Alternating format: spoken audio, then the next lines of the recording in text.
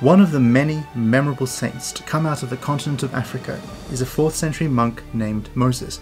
He is known by many names Moses the Black, Moses the Ethiopian, Moses the Abyssinian, Moses the Robber, Moses the Strong.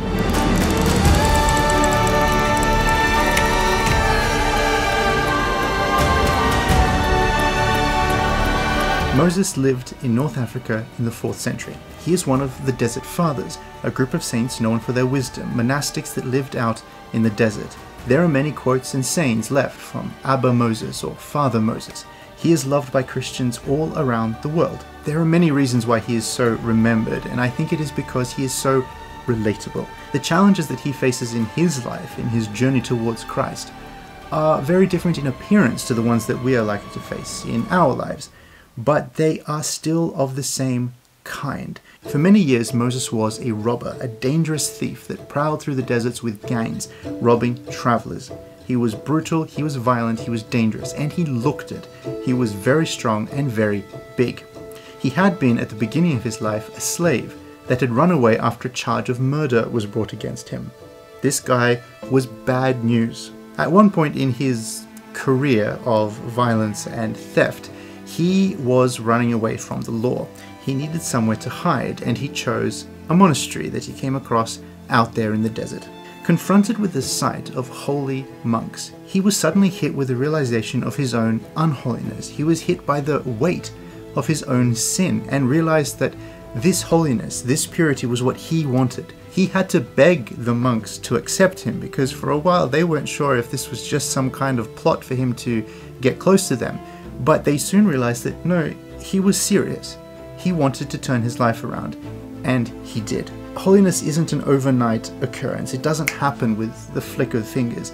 He had to spend years overcoming his own sins. He had to fight for years in his heart with the temptations of lust. He had to fight with the temptations of anger and rage. And these things beset him constantly, and he was often discouraged in the fact that he couldn't get over them but he was encouraged by his elders to keep fighting because there were more people fighting with him than against him.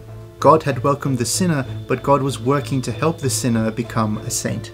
There is a story that I love that Moses at one time was in the desert, away from the monastery, in prayer. He was attacked by four thieves.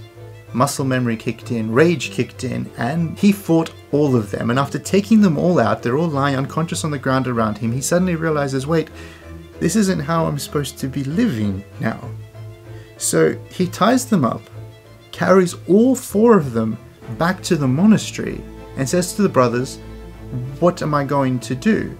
I'm supposed to love them, but I've already knocked them unconscious. These monks would have been terrified. Here is their brother coming in carrying four unconscious thieves. And they said to him, Look, you're going to have to patch them up and forgive them and let them go. And Moses thinks, that's, that's fair enough. That is what I've been learning how to do. And he looks after them. These four thieves are shocked at the treatment that they're getting from the monks. They were expecting to be killed. And then one of them recognizes the man who beat them up. These four thieves had been in one of the gangs that Moses had led years and years before. And they, like him, are overcome with the love of Christ that they're experiencing here in the monastery, and they join him as brothers and monks. Moses continued to grow in his love and fellowship with Jesus Christ. He continued to fight the temptations that beset him, growing stronger and stronger and closer to Jesus. There is a story from several years later in Moses' life where Moses was at a well when he was physically attacked by demons. They beat him so badly that he spent months recovering in bed, unable to walk. And he was thrilled about this. Why? Because temptation no longer worked. He had fought temptation off, and the demons now had to resort to something as pitiable, predictable, and basic as physical violence.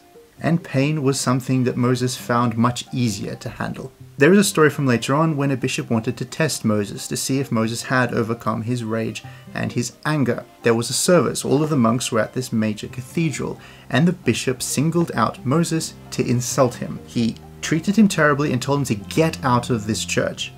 Moses didn't reply at all. He turned around and walked out of the building without arguing. The bishop was so amazed and so impressed, he called him back in and made him a priest on the spot.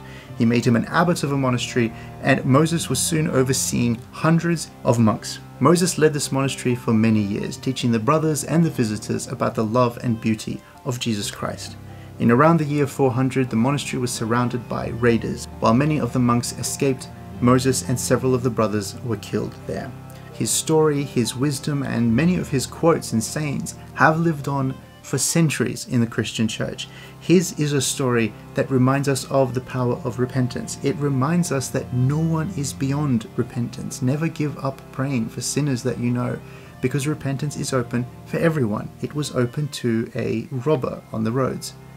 His is also a story that reminds us that holiness isn't something that happens instantly. We cannot instantly become excellent, perfect Christians. Holiness is a journey. On this journey with us is the church. On this journey is Moses the Strong. And on this journey is Jesus Christ that walked with Moses. And so ends another episode. But there is more to discover about Moses the Black. There are more excellent stories for you to find out. This was just an introduction. If you're interested in the tea, we are drinking rooibos tea, which is a plant that grows in Africa. And it's delicious. I love rooibos tea.